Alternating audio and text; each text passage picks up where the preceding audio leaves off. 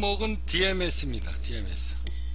자, DMS가 아, 7월 달에 뭐 5천원대, 5천원대를 이렇게 주가가 쭉 빠지니까 강하게 아, 매수세가 긴 꼬리를 달고 주가가 끌고 올라왔어요.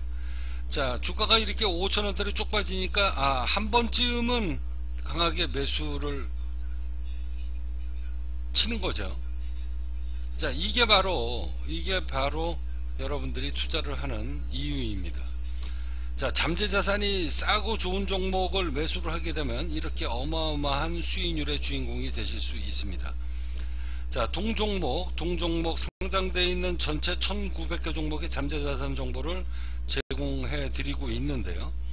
자, DMS 업황이 지금 올라가는 구간인가 내려가는 구간인가 여러분들 심각하게 생각을 하셔야 됩니다. 자, 동종목은 디스플레이 장비 제조 어, 부품 제조 판매를 하고 있는 이런 업종인데요.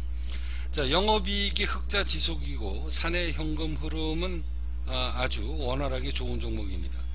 자, 그런데 지난번에 5천원대로 한번 이렇게 강하게 매수를 끌고 올라와서 더 이상 주가가 올라가지를 못하죠.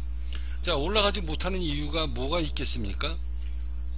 이때는 한번 강하게 매수가 들어와서 한번 끌고 올라왔는데 이게 몇 달이 되도록 지지부진하게 더 이상 돌파를 못해요. 그러면서 어, 단기적으로는 약 6,800원, 6,800원대에서 지금 강한 매물 하방 압박을 받으면서 더 이상 추가 돌파를 못하고 있는데요.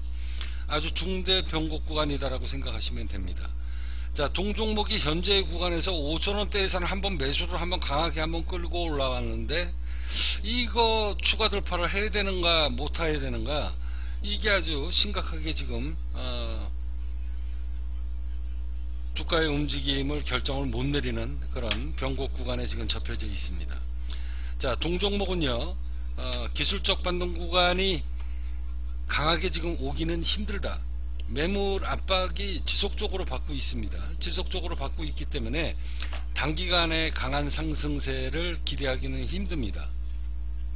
고점에 물리신 분은요 틀림없이 이 구간에 만원대에서 물리신 분들 굉장히 많이 있을 텐데요. 잠재자산을 안다라고 하면 이 구간은 세력들이 팔아먹는 구간이지 여러분들이 매수하는 구간이 절대 아니올시다. 아, 동종목은 잠재자산을 보고 투자를 하실 줄 아셔야 됩니다. 자 고점에서 물리신 분은 단돈 몇만원 아끼지 마시고 저한테 잠재자산을 질문을 하시면 제가 다 가르쳐 드립니다 저평가되어 있는 이런 잠재자산이 저평가되어 있는 이런 종목을 여러분들이 매수하시면 여러분들 인생이 달라지게 될 겁니다. 동종목 DMS 기술적 반등 구간이 지금은 당장 오기는 힘들다.